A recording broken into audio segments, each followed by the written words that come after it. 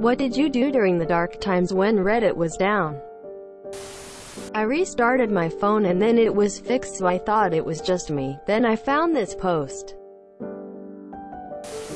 Toilet time ruined. Tried to go to Reddit to see why Reddit wasn't working. I talked to my kids. It's amazing how much has happened in their lives over the last seven years.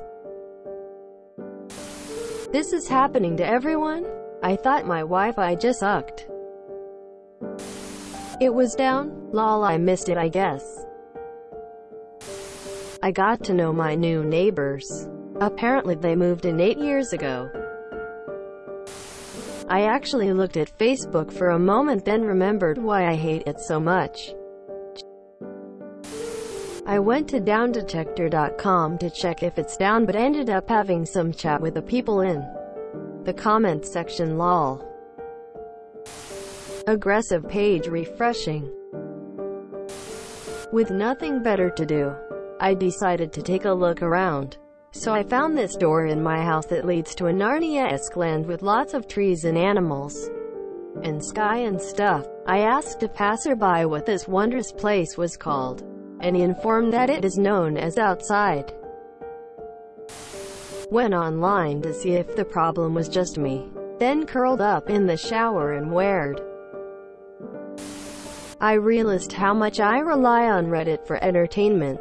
My other go-to sites ran out really quickly. It still is for me. I pooped, showered, put the cups away, put on clothes, Made sure my dental card is in my wallet. Added 40 bucks to my wallet. Checked up on stock prices. And now I'm waiting for time to pass before heading to the dentist. I had to do work. It was horrible. I just woke up to find myself in this post-apocalyptic hellhole. Oh my god, I thought it was my Wi-Fi. I owe some poor bastard in the call center a massive apology.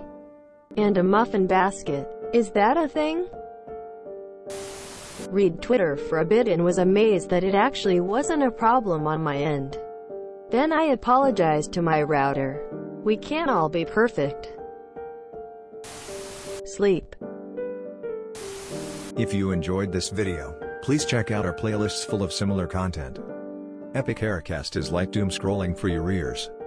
Please like, share, and subscribe.